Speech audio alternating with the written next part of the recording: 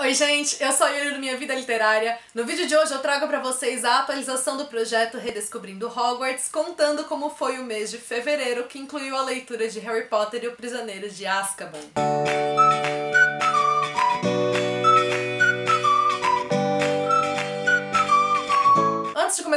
Comentários do livro, vale dizer que, embora eu esteja segurando essa edição aqui, eu não li por ela, nem por nenhuma das outras que eu tenho aqui. Eu fiz a leitura pelo e-book no Kindle Unlimited. Aproveitei que eu reativei minha assinatura e fiz a leitura pelo e-book, porque para mim acaba sendo mais prático ler por lá. E foi uma experiência também muito válida. Acabou sendo bastante prático, então também dá para ler Harry Potter em e-book. O projeto Redescobrindo Hogwarts está acontecendo em parceria com os canais Pronome Interrogativo, Equalize da Leitura e Segredos entre Amigas. A gente se propôs a reler a saga saga durante esse primeiro semestre de 2020. Agora em fevereiro, nosso cronograma então compreendia a leitura de O Prisioneiro de Azkaban até a metade do mês e utilizar a segunda metade do mês, assim como a primeira quinzena de março, para fazer a leitura de Harry Potter e o Cálice de Fogo. No meu caso, eu li em fevereiro apenas O Prisioneiro de Azkaban mesmo e deixei para ler o Cálice de Fogo agora no comecinho de março. Esse aqui, como eu já falei em outros vídeos, é o meu livro favorito da série, então foi uma delícia poder fazer essa essa releitura e eu pude também relembrar em muitos aspectos o porquê desse livro ser assim, né, o meu queridinho. Acho que um dos principais pontos a se dizer é que nesse livro daqui, o tom da série, ele começa muito aos poucos se distanciar do tom dos dois primeiros livros. Ainda assim, a gente não tem um distanciamento total, em muitos aspectos esse livro tem elementos também do primeiro livro, a gente tá falando de uma história que vai ser de certa forma fechada, que vai ter um mistério aqui por detrás a se resolver, um mistério que ele vai ser encerrado aqui nesse mesmo livro, mas ao mesmo tempo a gente não tem uma conclusão desses eventos tão felizes assim como nos dois primeiros livros. Aqui a gente vai vendo aquele tom um pouco mais sombrio das coisas que não dão assim 100% certo, que vão mostrando algumas injustiças e de como elas vão continuar perpetuando. Esse livro também ele tem uma coleção de momentos felizes que são muito importantes para a história como um todo. O Harry aqui antes de ir para Hogwarts, por exemplo, ele consegue deixar um pouco, né, a casa dos tios, ele passa uma semana no mundo bruxo, hospedado lá no Beco Diagonal. E essa é uma das passagens que eu mais gosto na leitura, porque eu acho tão gostosa essa atmosfera do Harry estar tá inserido num lugar em que ele é aceito, num lugar em que ele não é maltratado, num lugar em que ele tem a liberdade de ser quem ele é. Esse também é um dos livros em que a gente tem pontos altos de felicidades e conquistas que, por exemplo, foram negadas nos dois primeiros. E sim, aqui eu tô falando mais especificamente do quadribol mesmo. E eu vejo esses momentos de conquistas, de felicidade, até mesmo através da figura do professor Lupin, que é o primeiro grande professor de defesa contra as artes das trevas, né, que os alunos vão ter desde a entrada do, do Harry em Hogwarts. Eu vejo todos esses momentos de felicidade como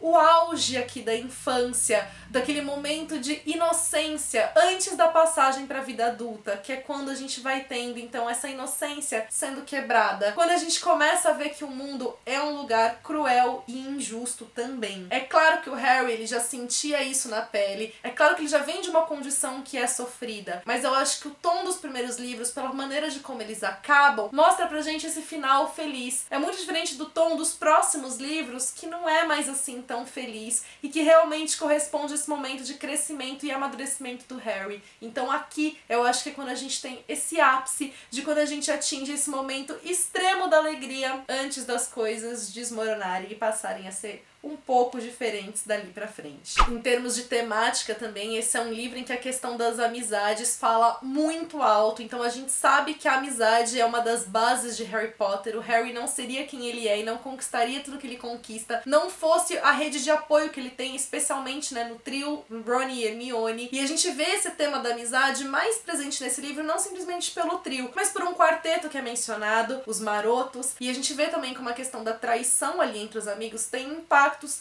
enormes na história como um todo. Vale dizer também que essa questão da felicidade aqui no livro é também um contraponto à metáfora que a gente tem dos dementadores, e esse foi um ponto que foi observado levantado na nossa discussão lá no Telegram, quando eu fiz essa pergunta, né, como as pessoas encaravam a questão da felicidade, foi essa foi uma das respostas que surgiu. Eu gosto muito então de como a J.K. Rowling também utilizou a figura dos dementadores para dar uma forma para a questão, por exemplo, da depressão. Ela sofreu de depressão, ela passou por momentos bem sombrios ali da vida dela. E isso tudo aparece por esses monstros, esses guardas, né, que tornam quem está refém deles prisioneiros. Harry Potter é uma série que ela tem muitos momentos reflexivos, que ela tem frases ali chaves que levam a gente a refletir e pensar na nossa própria vida. E eu gosto muito das frases que aparecem aqui e que estão ligadas à questão dos dementadores, à questão de como a gente e o Harry, no caso, enfrenta as tristezas e os próprios medos. E aí, além de todos esses elementos, acho que o que me faz gostar demais desse livro é a própria estrutura dele. Então a gente tá falando de um livro que ele tem reviravoltas que são mesmo surpreendentes. Agora, lendo, já sabendo em detalhes, né, como a história vai se desenvolver, é muito fácil a gente observar as pistas que a J.K. Rowling foi deixando, né, até a gente atingir o momento de clímax da história. Mas ao mesmo tempo, mesmo observando essas pistas, a gente percebe como ela construiu tudo isso tão bem, porque as soluções que ela dá, as chaves que ela dá, eram coisas que eram muito difíceis da gente sequer supor. E acho que é por isso que o livro acaba sendo assim tão surpreendente que mesmo agora, já sabendo tudo o que acontecia, quando eu atingi o momento do clímax, eu não consegui parar de ler e eu me senti sufocada, eu senti aquela coisa do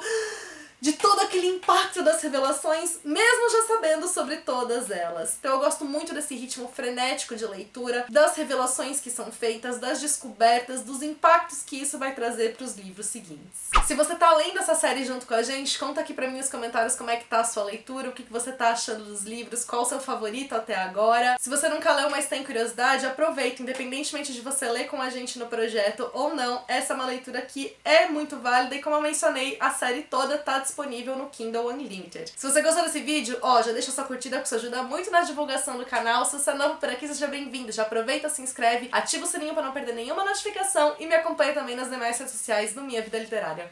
Beijos a todos e até o próximo vídeo.